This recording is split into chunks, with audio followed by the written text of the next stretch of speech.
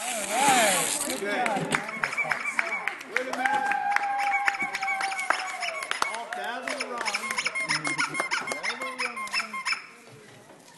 All. Okay, good job. Not bad. Okay, you did uh, 640. What does that mean, you asked? I mean 640 families. Give yourself a yay yay. And that means there's 3.2 people per family. So that means you have to feed today 2,048 people. Yay. Yay! You did not, you said, well, I didn't feed anybody. Yes, you did. This food is in here, it's got to get out. And what happens, we have 450 charities that pick up food. And they're going to take this out starting Monday.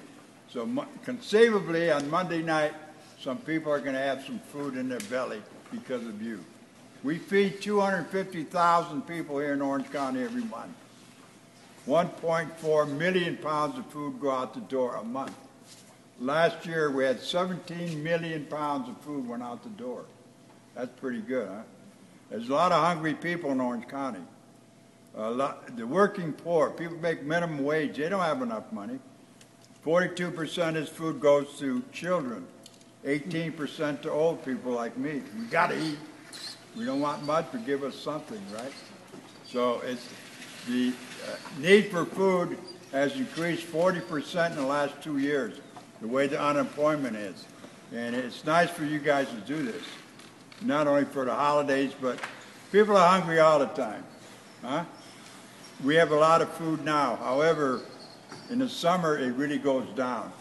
And people don't donate like they do during, during the holidays. You know what I mean? So give yourself a warm, fuzzy feeling, okay? Thank you. Thank you. You're free to go. Is this open every Saturday or? Uh,